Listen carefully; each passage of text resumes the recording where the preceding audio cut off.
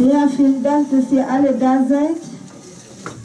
Thank you for coming, everybody. Als ihr alle mich kennt, Histamin ist mein Name, ich bin hier ehrenamtlich und das betrifft mich auch zum Teil, weil ich bin hier in diesem Land äh, 17 Jahre und bis heute muss ich immer noch in der Ausländerbehörde äh, äh, hin und her kämpfen. Also ernst, ähm, Nummer eins möchte ich sagen, das ist unfair von die, die ähm, Innensenatorin, die Frau Kohlert. Wir haben sie zum allerersten Mal in der Kirchenversammlung getroffen und die ist nie wieder, sie hat ja versprochen, dass sie wieder mit den Leuten die Gespräche weiterführen würde, aber die ist nie wieder aufgetaucht. Also die hat ihre Ding einfach durchgezogen. Sie, sie ist nie wieder zu uns gekommen mit Gesprächen, wo sie aufgehört hat, nachdem wir sie in der Küche, äh, wo die Diakonie mitorganisiert hat, den Treff gemacht haben. Danach hat sie keine äh, Kommentar, keine Nachricht von der Schule. Die hat sich einfach so weitergemacht wie in Oranienplatz. Und das kommt genauso wie hier in der Schule, wie es in Oranienplatz, wie die Leute geteilt haben. Es gibt Leute, die rausgehen wollen und wie, es gibt Leute, die bleiben wollen.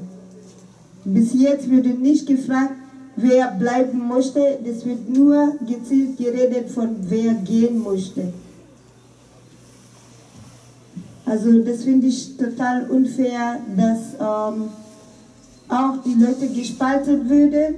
Die Leute, die in Deutschland von Lager Asylheim und die Leute von Lampedusa. Das wird Unterschiede zwischen die Flüchtlinge gemacht und das bringt nur Probleme zwischen den Flüchtlingen. Dieser Konflikt ist so gemacht worden, die Verantwortlichen wissen mal, wer die sind. Alle, die mitverfolgen, die ganze Geschichte wissen schon, wie es gelaufen in äh, Oranienplatz und wie es jetzt läuft. Also das Problem ist, die Leute unterschreiben, was sie gar nicht verstehen. Die wissen nicht die Nachteile und die Vorteile von diesem Angebot, was die Frau Kohlert uns verspricht. Erstmal mit der Versammlungsfläche, also da in Oranienplatz. Am Ende des Tages hieß es, wir dürfen nicht mal Decke über dem Kopf. Das ist verstoßen gegen äh, Demokratie, wenn wir auf Rechte kämpfen äh, äh, mussten. Und wir werden diesen Kampf weiterhin nicht aufgeben. Also wir kämpfen wegen Lagerhaltung, also die Asyllager, Flüchtlingenlager, weil wie sollen sie sich integrieren in der deutschen Gesellschaft, wenn die irgendwo in einem abgeschiedenen Dorf sich nicht mal integrieren dürfen? Wie sollen sie Deutsch lernen? Wie sollen die die Kultur kennenlernen, wenn die nur irgendwo in einem Haus, konzentrierte Haus, so, das ist von den Flüchtlingen, nur die Flüchtlinge da äh, leben da. Wie soll das bitte schön funktionieren? Und gleichzeitig heißt es, ist Integration. Für mich, das ist keine Integration. Das ist nur auseinander. Also hier bringen die Flüchtlinge in Konfusion, weil jeder weiß von der Artikel Nummer 23, eine Lösung für alle. Wir fordern eine Lösung für alle und nicht Einzel, äh, Einzelfallprüfung, weil wir wissen, wo das hinführen würde. Und ihr wissen, dass diese Bewegung ganz, ganz stark ist. Und wenn ihr die Leute verspalten wollen, das ist politisch nicht korrekt, weil wir werden weiterhin unseren Kampf fortsetzen. Solange es diese äh, äh, äh, noch äh, Abschiebung gibt, Residenzpflicht und dass man in Lager leben muss. Also die Leute haben ihr Lager verlassen und jetzt kommen die, dann leben die genau in die gleiche Art von Leben in der Lagersystem. Weil die neuen Häuser, die die denn geben, die Gesetze läuft genauso wie in die Lagers, die die verlassen haben. Also das ist für mich eine Nullkreuz Zero Arbeit. Also die machen unsere Arbeit, als wäre keine Arbeit, weil wir kämpfen gegen diese Residenzpflicht. Es existiert nur in Deutschland. Und meine Damen und Herren, dieses Problem kann nicht nur Deutschland alleine klären, das ist eine Europäische Union, gemeinsame Lösung gefunden zu werden. Aber wenn die sagen, wie soll man die Leute stoppen von kommen, von hierher kommen, das kann wir nicht, weil diese Gesetze sind die, deswegen verlassen die Leute die Lager, um zu demonstrieren. Das ist eine Demonstration, dass wir das Recht haben auf Bewegung. Freedom of Movement is everybody's right.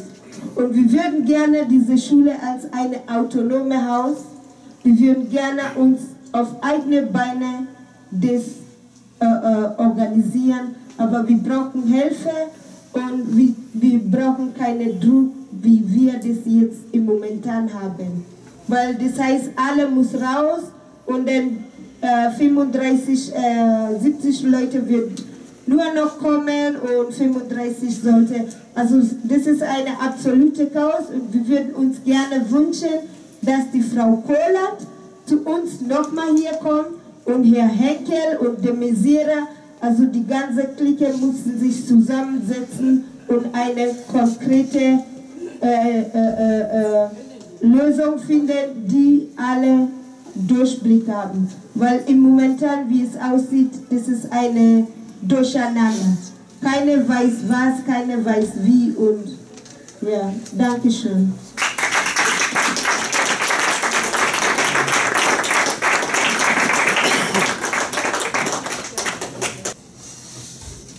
Hallo. Hallo, wir sind ähm, eine Gruppe von Mediziner und Medizinerinnen und ähm, versuchen die Leute hier im Haus zu unterstützen. Wir lesen zu zweit einen Text, ähm, das ist unsere Stellungnahme. Lauter? Ja, besser? Okay. In der Gerhard-Hauptmann-Schule.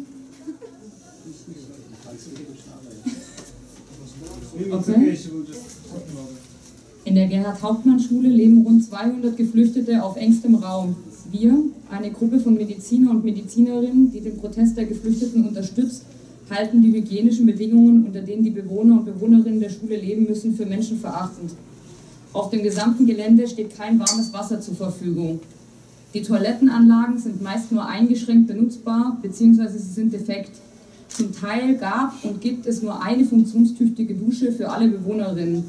Die acht funktionstüchtigen Duschen der ehemaligen Sporthalle der Schule sind den Bewohnern nicht zugänglich, da diese mittlerweile kommerziell genutzt wird. Diese Bedingungen tragen zur Entstehung und Verbreitung von Krankheiten bei. Dies wiegt besonders schwer, weil vielen der Menschen, die in der Schule leben, der Zugang zu medizinischer Versorgung verwehrt ist. Wer all diese Tatsachen kennt, kann nur positiv erstaunt sein über die hygienischen Verhältnisse in der Schule und die funktionierende Selbstorganisation der Bewohner und Bewohnerinnen trotz widrigster Umstände und Belastungen, die ein Leben, das selbst der grundlegendsten Rechte beraubt wurde, mit sich bringt.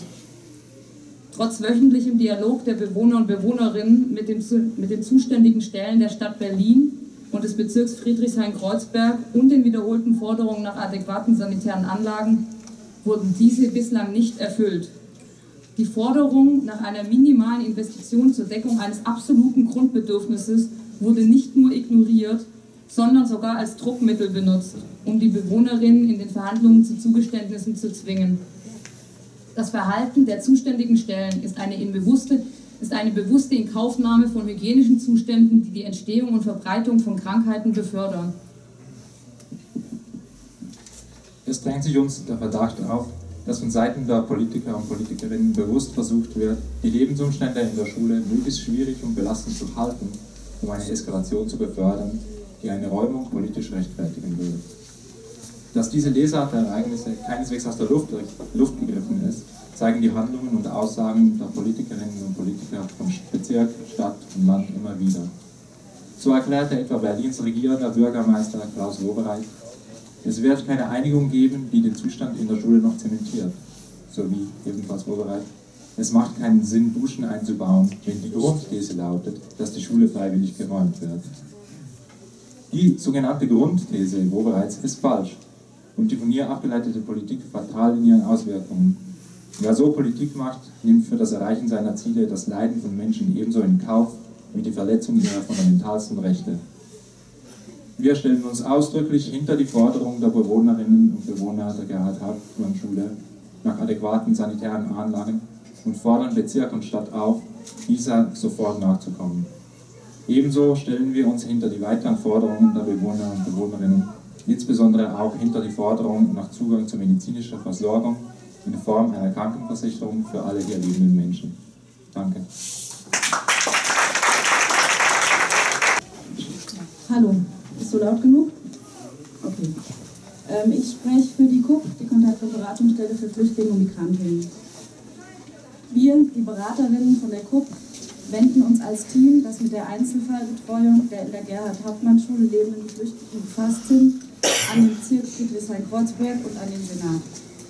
Derzeit ist die Schule akut räumungsbedroht. Die Bewohnerinnen werden aufgefordert, sich in sogenannte Listen einzutragen.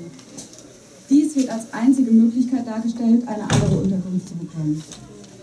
Über die Bedeutung der Listen und das Verfahren, auf diesem registriert zu werden, geben Bezirk und Senat unterschiedliche, sich widersprechende Informationen heraus.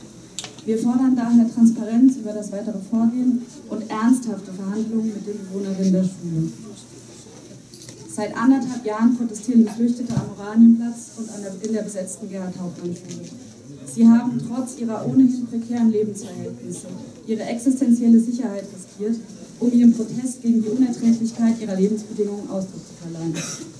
Aufgrund der Räumung des Protestcamps auf dem Oranienplatz im letzten Monat und der akuten Bedrohung der Schule erleben wir eine extreme Verunsicherung der in der Gerhard-Hauptmann-Schule lebenden Menschen. Wir bitten die zuständigen Vertreterinnen des Bezirks und des Senats, diese Verunsicherung ernst zu nehmen, um weitere Eskalationen, die letztlich auf die angestaute Verzweiflung zurückzuführen sind, zu vermeiden. Gerade die jüngste öffentliche Aufforderung des Bezirks an die Bewohnerinnen, sich einzutragen, verursacht hinsichtlich der zeitlichen und rechtlichen Implikationen dieses Verfahrens in jeder einzelnen Beratung massiven Klärungsbedarf. Lauter. Entschuldigung. Ja. Aufgrund, so, laut genug? Aufgrund großer Intransparenz verfügen wir als Beraterinnen über keinerlei Informationen über die Bedeutung der Listen und über das weitere Vorgehen von Bezirk und Senat. Dadurch ist es uns in vielen Fällen nicht möglich, sinnvolle Beratung zu gewährleisten. In der letzten Woche haben wir außerdem beobachtet, dass Bewohnerinnen der Schule an vom Senat genannten Orten mehrere Versuche unternommen haben, sich ihren versprochenen Platz auf, äh, ihren versprochenen Platz auf den Listen zu bekommen. Da dies jedoch stets gescheitert ist, zeigen sich die Geflüchteten enttäuscht und verunsichert. Die Art und Weise, wie Informationen an die Bewohnerinnen der Schule kommuniziert werden und wie die Registrierung insgesamt organisiert ist, lässt den Eindruck entstehen, dass auf Seiten des Senats kein wirkliches Interesse daran besteht, Unterkünfte für alle Beteiligten zu finden. Parallel dazu kämpfen die Geflüchteten vom Oranienplatz unter schwierigsten Bedingungen darum, mit ihren berechtigten Forderungen von der Öffentlichkeit und der Politik ernst genommen zu werden. Tatsächlich kriminalisieren Politik und Medien Protest. Ich fange nochmal an. Tatsächlich kriminalisieren Politik und Medien den Protest, statt ernsthaft auf die Forderungen einzugehen. Diese Umstände tragen dazu bei, dass die Menschen befürchten, trotz zwei Jahren Protests in ganz Deutschland und Europa letztendlich mit derselben Perspektivlosigkeit auf der Straße zu stehen, die schon Auslöser der Protestbewegung war. Nicht zuletzt möchten wir darauf verweisen, dass hier in die Prozesse und rechtlichen Implikationen der Listen eingeweiht werden müssen, die zuständigen Stellen Bedingungen schaffen müssen, unter denen wir unsere Beratungsarbeit ungehindert nachgehen können und vor allem ernsthafte Verhandlungen mit den Bewohnerinnen der Schule geführt werden müssen, um eine akzeptable Lösung für alle zu finden. Danke. Also, Ja.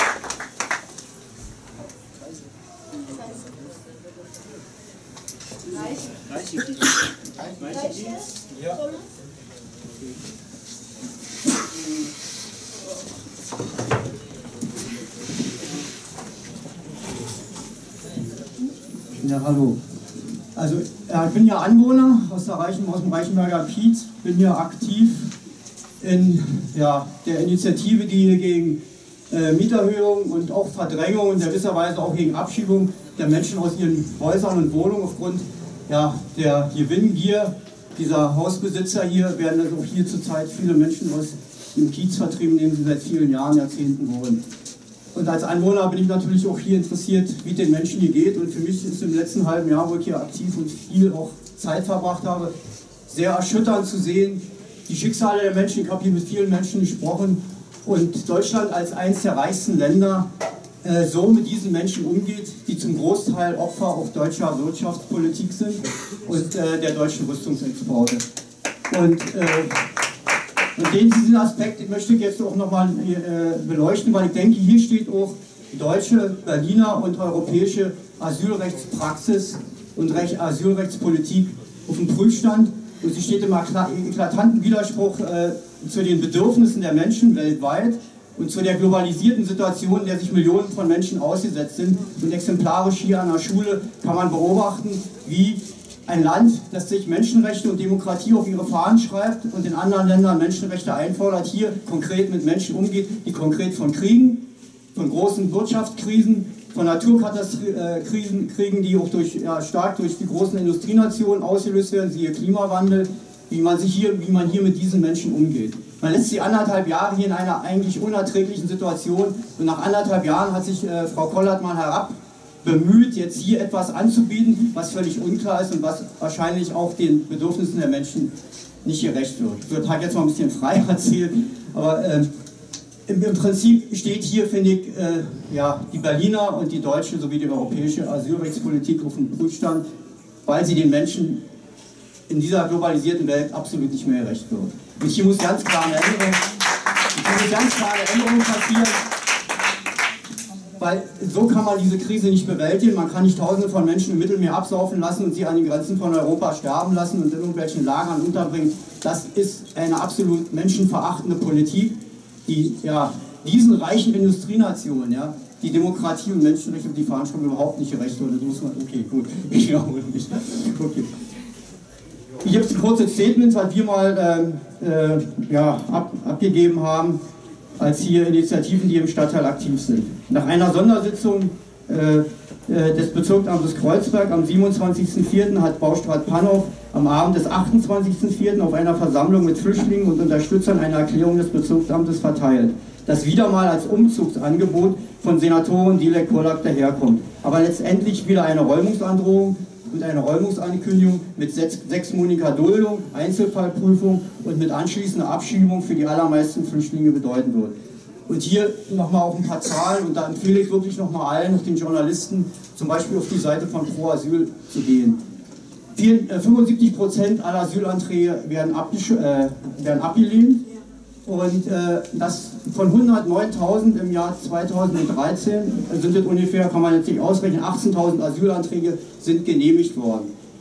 Von diesen äh, 18.000 muss man sagen, 2012, nee 2013 sind 10.000 die Zahlen habe ich jetzt hier, 10.900 abgeschoben worden. Bezieht sich allerdings nicht auf diesen, äh, auf diesen Zeitraum, sondern davor. Aber man sieht schon irgendwie an den, an den Zahlen, äh, wie, wie die Situation und die Praxis von Einzelfallprüfung und Abschiebung im Verhältnis steht. Also die meisten Leute, die jetzt hier äh, praktisch das Angebot annehmen werden, sind massiv auch von Abschiebung bedroht.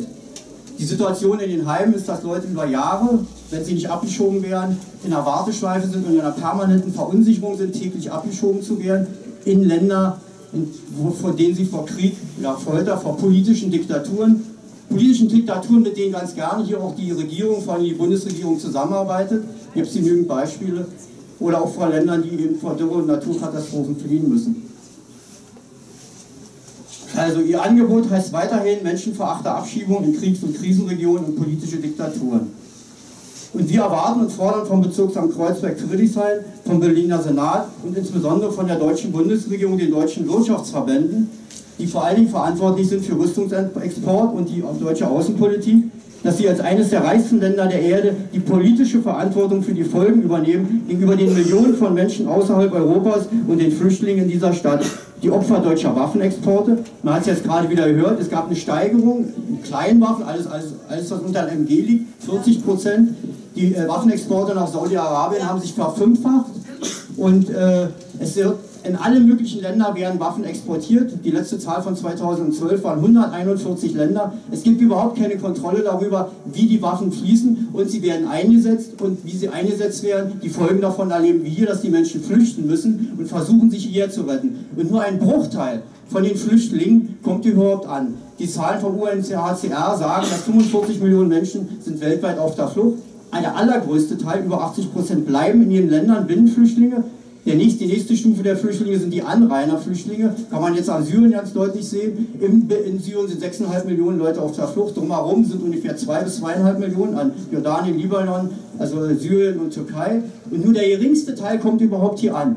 Und die werden selbst noch nicht mehr, obwohl klar ist, unter welchen Bedingungen sie fliehen, hier willkommen geheißen. Man gewährt ihnen keinen Schutz. Also Menschenrechte, Asylrecht wird selbst hier mit Füßen getreten. Und da muss auf jeden Fall eine Veränderung her. Gut. Wir fordern die deutsche Regierung, den Berliner Senat und Innensenator Henkel auf, die Opfer deutscher Außen- und Kriegs- und Wirtschaftspolitik willkommen zu heißen, sie gastfreundschaftlich aufzunehmen und hier ihnen eine menschenwürdige, geschützte und dauerhafte Existenz zu ermöglichen. Und heißt, dass sie hier arbeiten können, dass sie ein Wohnrecht kriegen. Und bisher sieht die Asylpraxis so aus, dass selbst wenn du eine Genehmigung, ein Asylrechtsantrag positiv beschieden worden ist, dass du in den ersten neun Monaten nicht arbeiten darfst dass du erst nach vier, vier Jahren eine Arbeitserlaubnis bekommst. Also du, bekommst davor eine eingeschränkte und die Eingeschränkung heißt, dass bevor, bevorzugte, bevorberechtigte, nämlich Deutsche und EU-Bürger Vorrang haben. Also deine Chancen, selbst bei einer Genehmigung hier ein normales Leben zu führen zu können, nämlich arbeiten und wohnen zu können, ist permanent der Existenzbedrohung ausgesetzt, dass du, wenn du, und das ist eine Bedingung des Asylrechts, du musst deinen Lebensunterhalt aus eigenen Kräften bestreiten können, wenn dein Asylantrag positiv beschieden ist. Und damit ist es eine, also eine permanente Existenzbedrohung, eine permanente Verunsicherung und eigentlich überhaupt kein Leben, das den Leuten, also wirklich, sag mal, was menschenwürdig, ja, wenn man sagen kann, das entspricht äh, ja, menschenwürdigen Bedingungen. Und das ist überhaupt nicht gegeben. Darum fordern wir hier auch speziell in Berlin vom Senator Henkel den Flüchtlingen im Rahmen des Paragraph 23 des Aufenthaltsgesetzes eine dauerhafte Aufenthaltsgenehmigung und Aufenthaltserlaubnis zu erteilen. Ein zweiter Aspekt, ist oft diese Kostenfrage. Äh, wird ja immer gesagt, das Buch ist voll, es kommen die Millionen. So. Wir wissen jetzt anhand der Zahlen, dass nur ein ganz geringer Bruchteil überhaupt hierher will. Die meisten Menschen, die aus Kriegs- und Kriegsgebieten, Krisengebieten fliehen, wollen natürlich zu Hause bleiben. Sie wollen wieder zurück, auch selbst wenn sie in die Anrainerstaaten fliehen. So, der, der Teil, der wirklich dann hier irgendwie herkommt und sein Leben rettet, der wird dann oft als Sozialschmarotzer oder wird bezeichnet als Leute, die in die Sozialsysteme infiltrieren. Ja? Und äh, die Kosten werden dann hier ins Feld geführt, dass wir das gar nicht leisten können. Wie gesagt, bei dem geringen Anteil von Leuten, die hierher kommen, es sollte eines der reichsten Länder äh, der Welt ja, und äh, Europas sehr wohl in der Lage sein, diese Menschen äh, menschenwürdig unterzubringen und ihnen den Schutz zu gewähren, der ihnen zusteht.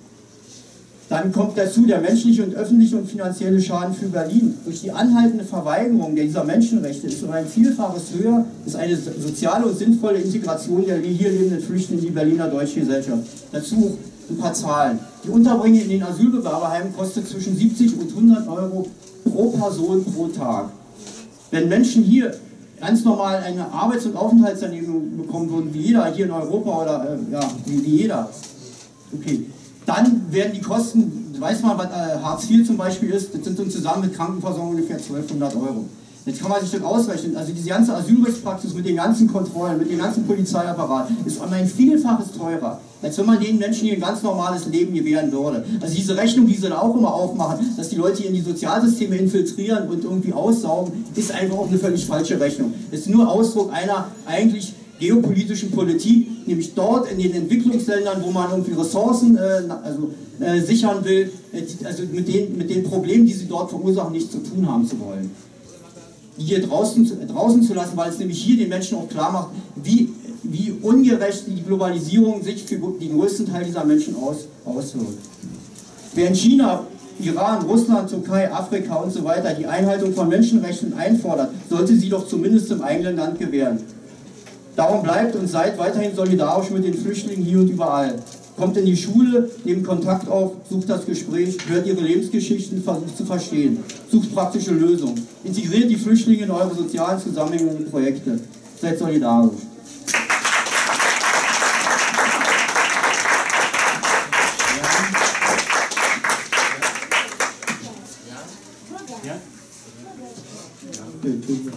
Mülteci probleminin ne olduğunu direnerek anlatıyoruz. Seit zwei Jahren machen wir auf der Straße Protest und machen auf die Probleme von Geflüchteten aufmerksam. Alman toplumu mülteci probleminin Avrupa'da ve Almanya'daki mülteci probleminin ne olduğunu anladı bizim eylemlerimiz sayesinde. Unsere Demonstrationen und unsere Aktionen machen darauf aufmerksam, wie die Probleme von Geflüchteten in Europa und in Deutschland sind. Ama Alman devleti bu probleme bir çözüm üretmek istemedi. Aber die deutsche Regierung will nicht sich darauf einlassen, eine Lösung für diese Probleme zu finden. Biz iki ay Dilek Kolat'la görüştük. Bu görüşme sonunda 6 aylık dulluk verdi. 6 aylık dulluk sonucunda Dublin 3 yasası yürürlüğe girecek ve Dilek Kolat'ın çözümü Ve Räumung projesiydi. Wir haben uns zwei Monate lang mit Dilek Kollat getroffen, um über eine mögliche Lösung zu verhandeln. Und die Lösung sieht so aus, dass sie uns sechs Monate Duldung versprochen hat. Und nach dieser Duldung greift aber Dublin 3. Und Dublin 3 heißt, dass die Leute abgeschoben werden. Und deswegen sagen wir, dass das Projekt von Dilek Kollat ein, Abschiebe, ähm, ein Abschiebeprojekt ist. Und Räumungsprojekt. Şimdi biz Alman devletine diyoruz ki Refugee Strike bir politik gruptur. Sizin mahkemeleriniz bizim politik grup olduğumuz yönünde kararlar aldı. Jetzt sagen wir, ähm, dass, wir äh, dass es eine Entscheidung geben muss und die, der Protest, wir Protestierenden eine politische Gruppe sind. Ve biz onlara abşumuk içermeye 20, 23. paragraf önerdik. Und um diese Abschiebung zu verhindern, beziehen wir uns auf den Paragraph 23. Ve biz şimdi bu, bu toplumda işçilerin sendika kurma hakkı var. Başka sosyal hareketlerin çeşitli örgütlenme hakları var ama mültecilerin politik bir statüsü yok. Es gibt hier Status oder ähm, Anerkennung von politischen Vertretern wie Gewerkschaften und anderen sozialen Verbänden, aber von Geflüchteten gibt es diese politische Anerkennung auf politischer Ebene gibt es nicht. Po, mültecilerin politik bir statüsü olmadığı için parlamento, NGO grupları, medya hep mülteciler üzerinden e, pragmatist politikalar yapıyorlar. Medya, parlamento, NGO grupları. Ja. ja. Ähm, die Medien und auch NGOs und ähm, die Öffentlichkeit hat so eine pragmatische Haltung gegenüber den Geflüchteten, aber keine Anerkennung als politische Vertreter. Medya hep mülteci direnişi diyelim ki Oranian Plus ya da okulla ilgili hep mültecilerin kriminal olduğunu yazdılar. Die Medien haben über den Oranienplatz oft und auch über die Schule als Ort von Kriminellen berichtet und über die ja, Almanya'da yüz binlerce mülteci var ve çok sayıda mülteci kampları var. Medya Bramsche mülteci kampında, Hannover mülteci kampında, Eisenhüttenstadt mülteci kampında ne olduğunu görmüyor ve yazmıyor. In Deutschland gibt es mehr, weit mehr als 100.000 Geflüchtete.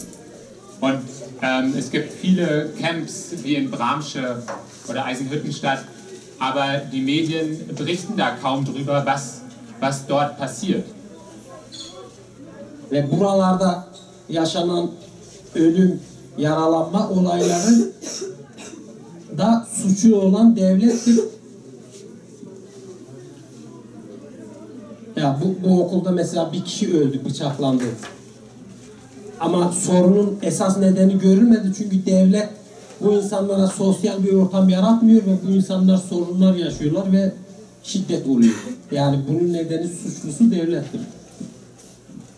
Hier in der Schule, wo jemand wegen dem Messerstichen gestorben ist, ähm, darüber wird geschrieben, aber es wird nicht darüber geschrieben, warum diese Person gestorben ist und welche sozialen Probleme dahinter stecken. Das wird ignoriert. Und wenn man diese Probleme nicht benennt, dann kann man auch nicht darüber schreiben. Şimdi biz devlete diyoruz ki siz bu sorunu çözmüyorsunuz. Bizim bizim çözüm projemiz var bu sorunlarla ilgili. I want to talk, yeah. I want to give the people truth. I want to give them the truth. Let me talk. Yeah. I, I know, I know, I know, I know, Know. I want to give evidence. You you can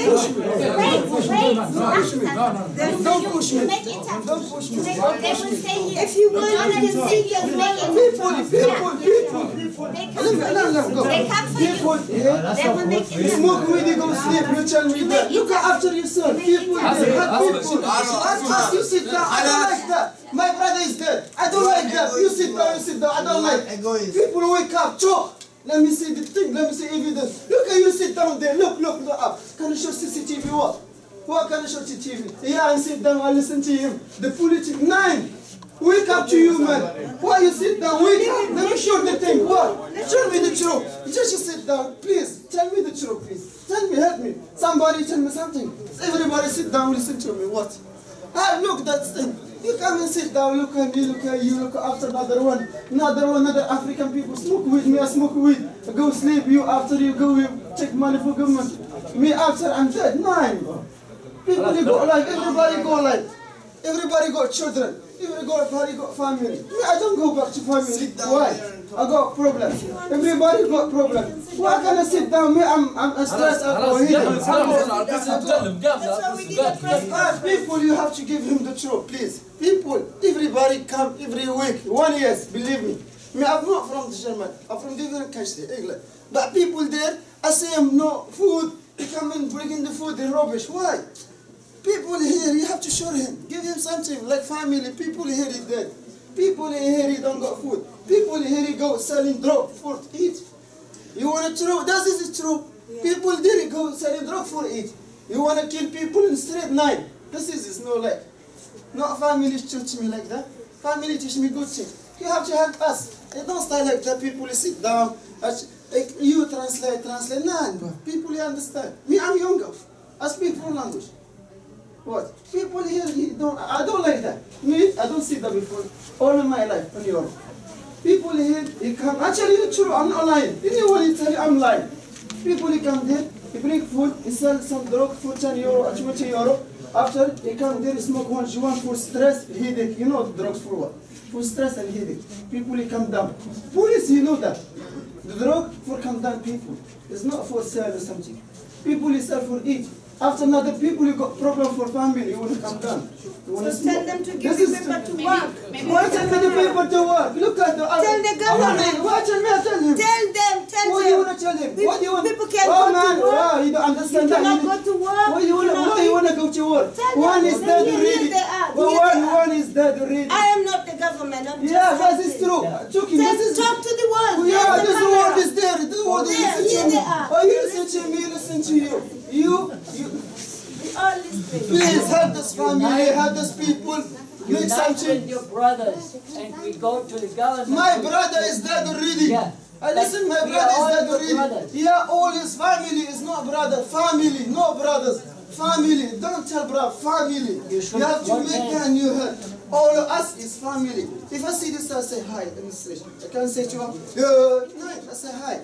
Can I ask you something? Say hi, Maybe we can make both. Maybe we can first stay finish and then we talk to you. Yeah, but, we here. but here. it's one fine. yes. It's So one yes. I can't go. I can't. I can't go back. Can go back with me. It's No, one yes. It's going. Yeah, yeah. I, yeah. I don't want to explain to you the. Okay. I want to explain to you the truth. I don't want you to listen to you. You one hour, ta ta ta ta. I explain to you the truth. I know you understand my situation, but your situation is not the same. Your situation maybe is little bit. My situation is bigger, more than you. If you more than me, yes, no. Let, let me talk. People, when you talk, you listen. Me, I respect. If you talk, I listen to you. You don't uh, allow that uh, the people here united uh, make their land. My problem is not saying my, problem. my brother is dead already. You still alive. My brother is dead already. Well, you want to tell me my problem is the same your problem. But I can make you family, my family, or not one family. It's not a problem. But people that you have to help us. You don't have to stay like that. You don't have to stay like that. You have to people you move. You do something. Oh, you tell me you come. Look, look, look this room, look this room, look this room, look up, look down. What you want to tell me, please? People, you have to make like family. The children, where is that? Go to mosque. Ask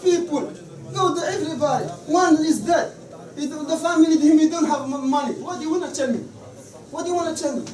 The family him is dead. Nah, bro. Tell me, go to mom and dad tell him your son is dead. The mom then become crazy. The dad become crazy. What do you wanna tell me? Lose you go. I will tell me after. Thank you.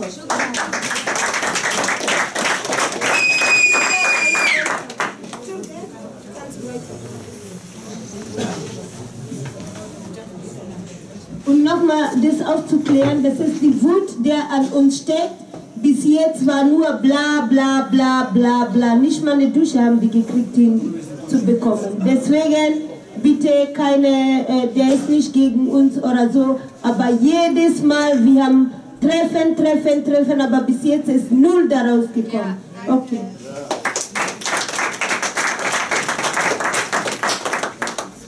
Okay, der letzte Satz nochmal, den Turgay angefangen hatte.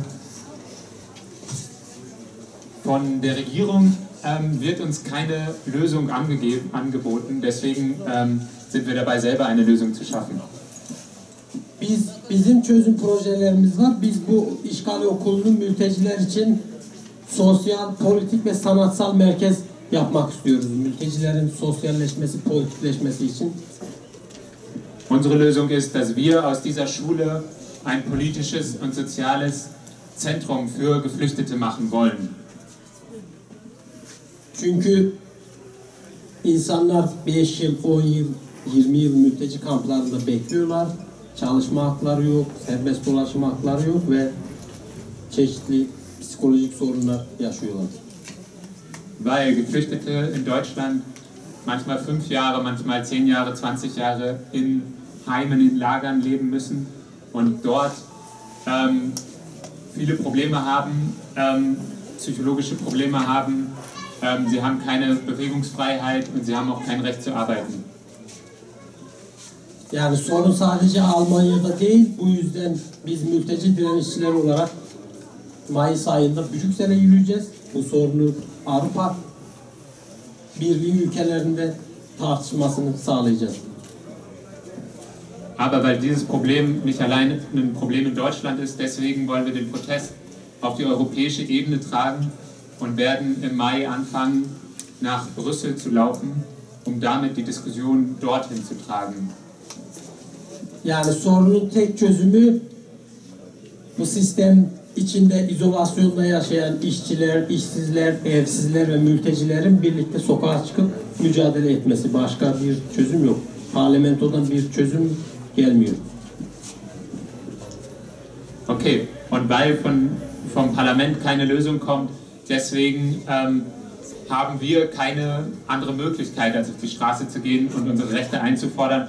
Und wir sind damit aber nicht alleine. Wir sind solidarisch und hoffen auch, dass wir gemeinsam protestieren mit Leuten, die keine Wohnung haben, mit Leuten, die keine Arbeit haben und die auch ausgegrenzt sind von dieser, diesem System.